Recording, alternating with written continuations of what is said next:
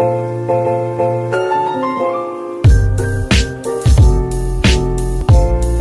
to this video guys. Today we are going to solve 20 Java MCQs on variables. Let's get started. Question number 1. Which among the following is not a variable type in Java?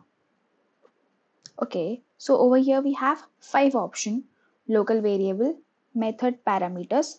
Method parameters are, are those variable which we you know declare during writing a method.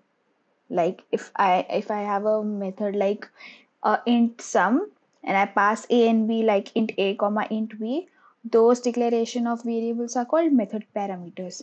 Then we have class variables then we have instance variables then we have constructor variables. Now over here we have to choose which is not a variable type in java. So the option is e uh, the the main purpose of you know putting this question up in the slide was just always remember these are the a b c d are the four types of the variables you know we uh, define in java. Question number two. Which variable are static? Again we have four same options local variables method parameters class variables and instance variables. The option is option number c. Class variables are supposed to be static always because class variable uh, whenever we create object of class they share same set of uh, you know static variables throughout the class. Now we have a fun fact. Local variable is only alive or has a lifespan within the block it is defined in. It for example if you have a variable inside a method the variable will only last long till the method is there.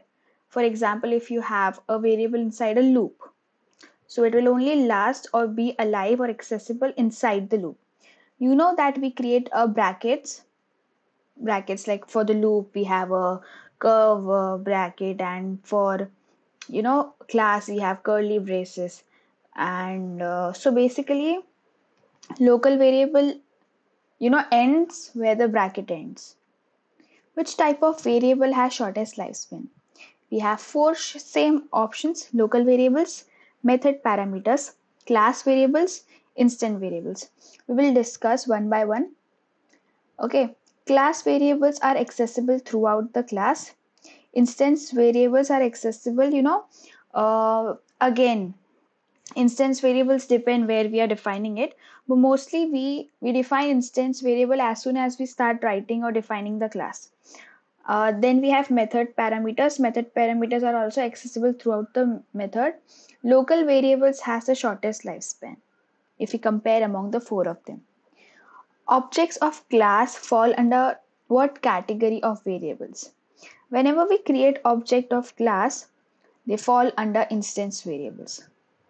Okay, if you create an object of a class, it will be a instance variable. If we consider a local variable int i, we have a if, we have int i defined here. Not here, it is here. Else will we uh, else will we be able to access i over here?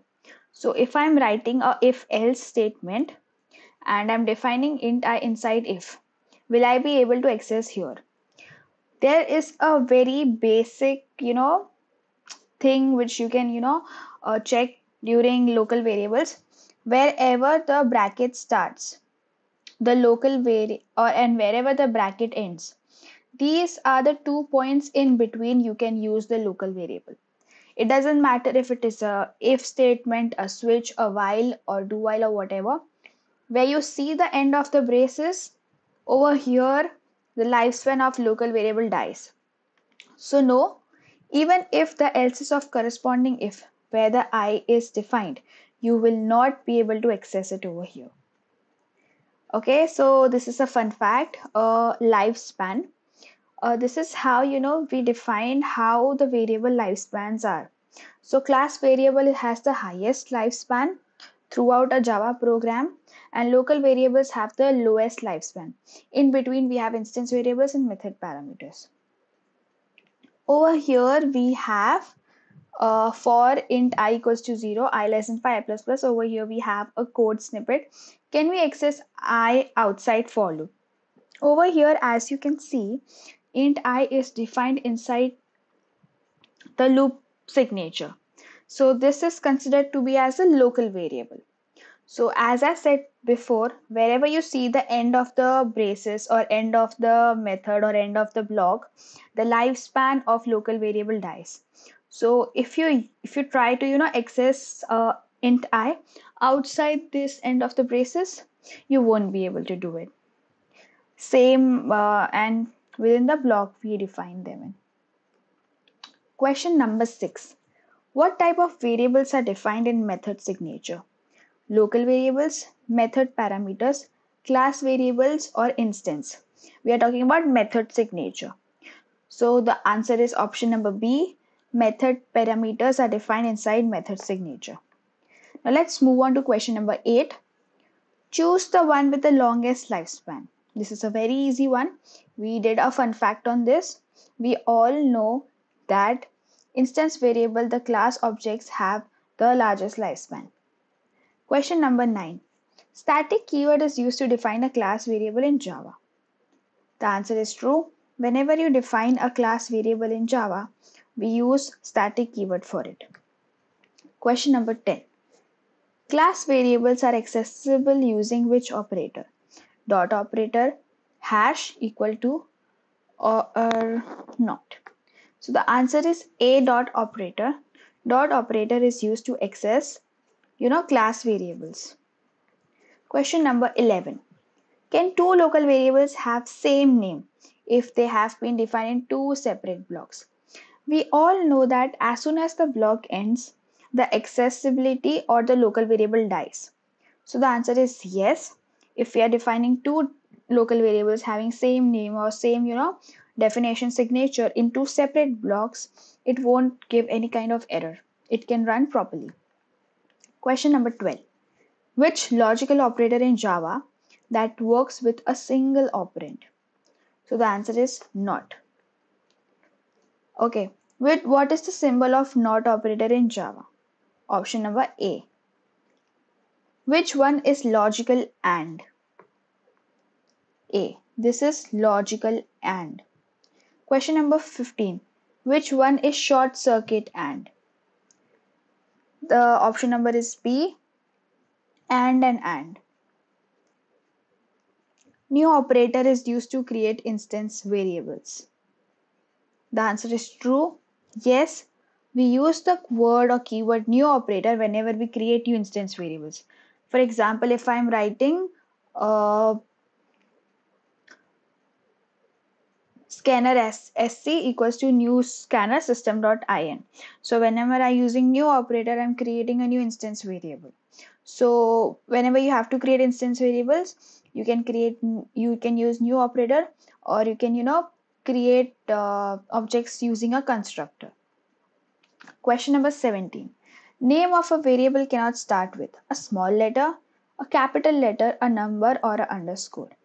So the answer is option number C. You cannot start a variable name using a number. 18th question. Can I create a variable of data type string in Java? The answer is false. You can also check a video that I have uploaded, you know, regarding data type uh, MCQs on Java. And uh, the answer is false because there is no string data type inside Java. Question number 19. Class variables should be static. It is true, class variables are supposed to be static. Question number 20. Which stops after returning false literal left left side? Uh, so we have short circuit end and logical and.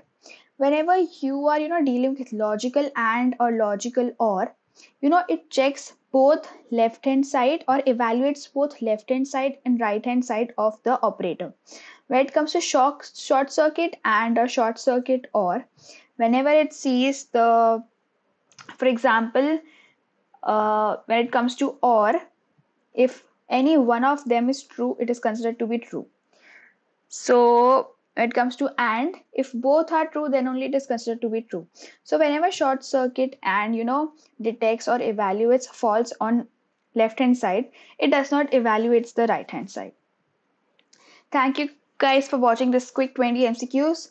If you like it, you can, uh, you know, find I have more up videos on C and Java MCQs on my channel. I hope you liked it. I hope you took some knowledge out of it. Uh, just thank you for staying till the end of the video.